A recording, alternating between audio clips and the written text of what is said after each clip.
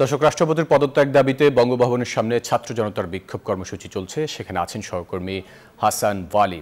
ওয়ালি শিক্ষার্থীদের কর্মসূচি এখন চলছে কিনা? সেখানকার পরিস্থিতি একটু জানাবেন আমাদেরকে। আর শিক্ষার্থীরা কি বলছেন এই বিষয়টা নিয়ে?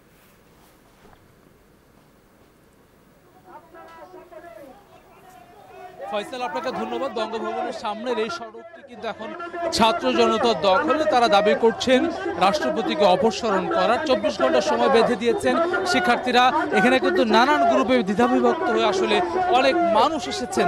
অনেকগুলো ব্যানার রয়েছে, কিন্তু সবার দাবি কিন্তু আসলে এক, সেটি রাষ্ট্রপতির অপসারণ। একটু আগে ইনকিলাব মঞ্চের একটি দল যারা আসলে বিক্ষোভ করছেন, তারা এখানে আইন উপদেষ্টা আসার তাদের দাবি জানিয়েছেন যে সাতটার মধ্যে যাতে করে বঙ্গভবনের সামনে আইন উপদেষ্টা আসেন এবং তাদের দাবি শোনেন এবং কবেক্ষণের মধ্যে আসলে রাষ্ট্রপতির অবসারণ হবে সেটি তারা নিশ্চয়তা চেয়েছেন।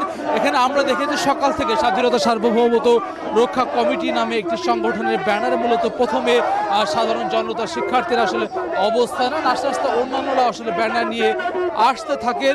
অনেকে অনশনও কিন্তু বসেছেন এই বঙ্গভবনের সামনের মূল সড়কটিতে। তাদের দাবি একটাই, তারা বলছেন যে ছাত্র জনতার যে গণ অভ্যুত্থানের যে আন্দোলন, জুলাই আগস্টে যে আন্দোলন সেই আন্দোলনের সময়ে আসলে যে গণহত্যা, সেই গণহত্যাই পতিত সরকারের প্রধানমন্ত্রী শেখ হাসিনা যেমন নির্দেশ দিতে ছিলেন একই সঙ্গে তারা বলছেন আওয়ামী লীগের নিয়োগকৃত যে রাষ্ট্রপতি শেখ শাহাবুদ্দিন, মোহাম্মদ শাহাবুদ্দিন, তিনিও একইভাবে দোষী। এমন অভিযোগ কিন্তু আসলে এখানে যারা আন্দোলনকারীরা তারা করছেন।